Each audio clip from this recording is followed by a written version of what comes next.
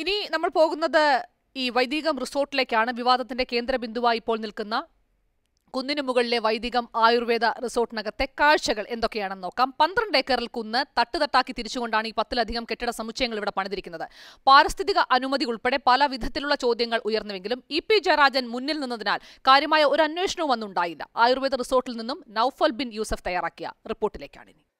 കണ്ണൂർ മൊറാഴയിൽ വെള്ളിക്കീലിൽ ഇടുപ്പക്കുന്നിൽ ഇതാണ് ആയുർവേദ വില്ലേജ്. വൈദികം എന്ന പേരിൽ പന്ത്രണ്ട് ഏക്കർ സ്ഥലത്താണ് ഇത് സ്ഥിതി ചെയ്യുന്നത്. ഇതുപോലെ ഒരു ഭാഗത്ത് കെട്ടിടങ്ങൾ ഇതിന്റെ മറുഭാഗത്ത് ഓഫീസ് കിടത്തി ചികിത്സിക്കാനുള്ള സൗകര്യ ആ ഭാഗത്തൊക്കെയുണ്ട്. മുപ്പത് കോടിയാണ് വൈദികത്തിന്റെ നിർമ്മാണ ചെലവ്.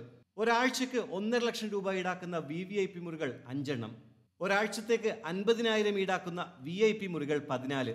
ചെലവ് കുറഞ്ഞ രീതിയിലുള്ള ചികിത്സയ്ക്കായി രണ്ട് ബ്ലോക്കുകൾ. ഇത്തരത്തിലാണ് സൗകര്യങ്ങൾ. കുന്നിടിച്ചുള്ള നിർമ്മാണത്തിനെതിരെ തുടക്കത്തിൽ പ്രാദേശികമായി സി പി എമ്മും ശാസ്ത്ര സാഹിത്യ പരിഷത്തും രംഗത്ത് വന്നു. ഇ പി ജയരാജൻ ഇടപെട്ടതോടെ പ്രതിഷേധങ്ങൾ തണുത്തു. സി പി എം ഭരിക്കുന്ന ആന്തൂർ നഗരസഭ നിർമ്മാണത്തിനുള്ള അനുമതികൾ ഒന്നൊന്നായി നൽകി.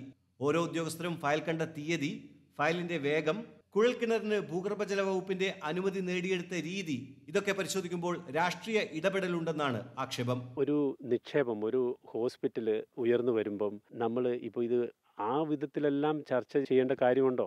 നാട്ടിൽ എന്തെങ്കിലും ഒരു അതിന്റെ എല്ലാം കെട്ടിടം അതിന്റെ അത്തരം ഡീറ്റെയിൽസ് ഒക്കെ നമുക്ക് ചെയ്യേണ്ട ഇതാണ് നമ്മൾ ഒരു ഗൂഢാലോചന ആയിട്ട് സംശയിക്കണമല്ലോ. ഇത് കുഴൽക്കിണർ കുത്താൻ പെർമിഷൻ ഉണ്ടാകുന്നതിന് മുന്നേ കുത്തി. ജിയോളജി വകുപ്പിന്റെ പെർമിഷൻ ആ സമയത്ത് ഉണ്ടായിരുന്നില്ല. രണ്ടായിരത്തി നാലിൽ കമ്പനി ആരംഭിക്കുന്ന സമയത്ത് ആ പതിനാല് കമ്പനി ആരംഭിക്കുന്ന സമയത്ത് കുഴൽക്കിണർ കുത്തുമ്പോൾ പെർമിഷൻ ഉണ്ടോ? പെർമിഷനിൽ അതൊക്കെ നമ്മൾ ഈ രണ്ടായിരത്തി ഇരുപത്തിരണ്ട് ഡിസംബർ ഇരുപത്തിയാറിന് ആക്കേണ്ട വിവാദമല്ലല്ലോ അത് ഒരു തരത്തിലും ആരെയും ബാധിക്കുന്ന കാര്യമല്ലല്ലോ. ആ സമയത്ത് എന്തെങ്കിലും ഒക്കെ വീഴ്ചകളുണ്ടെങ്കിൽ അത് ചൂണ്ടിക്കാണിക്കപ്പെട്ടിട്ടുണ്ടാകാം. അത് ആ നിലയ്ക്ക് തന്നെ അതിന്റെ പെർമിഷനും മറ്റു കാര്യങ്ങളും എടുത്തിട്ടാകാം മുമ്പോട്ട് പോയിട്ടുണ്ടാവുക. ഈ കുന്നിന്റെ സ്ലോപ്പ് അനുസരിച്ച് താഴെയാണ് അതിന്റെ ബേസ്മെന്റ് വരിക. ടി വിയിൽ കാണുന്നത് എയറൽ വ്യൂ എടുക്കുമ്പം എല്ലാം നിരപ്പായിട്ട് തോന്നും.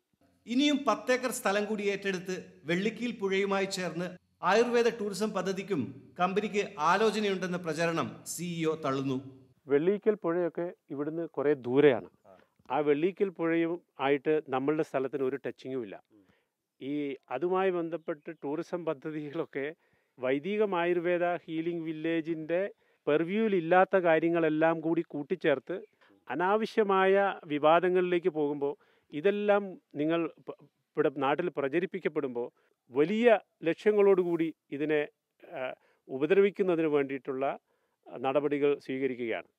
അനുമതി സംബന്ധിച്ച ഒരുപിടി ആക്ഷേപങ്ങൾ ഉയർന്നെങ്കിലും ഒരു സർക്കാർ ഏജൻസിയും അതൊന്നും പരിശോധിച്ചില്ല എന്നതാണ് ഉയരുന്ന സംശയങ്ങളെ ബലപ്പെടുത്തുന്നത്.